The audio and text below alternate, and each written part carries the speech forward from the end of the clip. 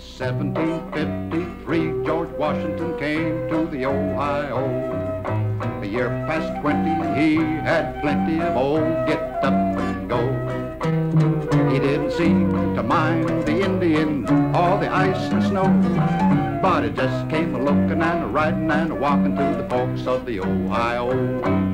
He just came a looking and a riding and a walking to the forks of the Ohio loading with the royal governor of Virginia. Said Georgia, better go west of Martha, so see what the Frenchmen say. Just tell them that the king don't want them and they had better go. So George came a looking and a riding and a walking to the forks of the Ohio. George came a looking and a riding and a walking to the forks of the Ohio. Queen Aliquippa was the Indian skipper of a tribe down Logstown way. George thought he better win this lady Indian and without delay.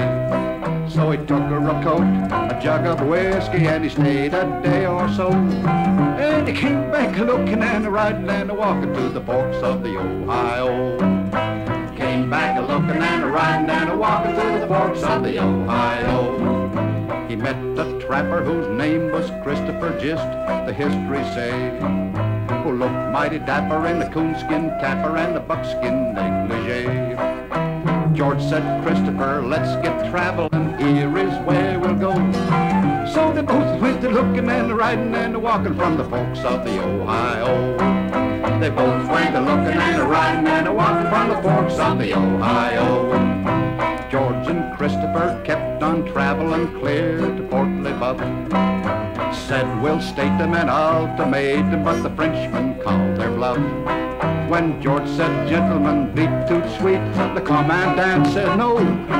So they came back a-looking and a-riding and a-walking from the forks of the Ohio.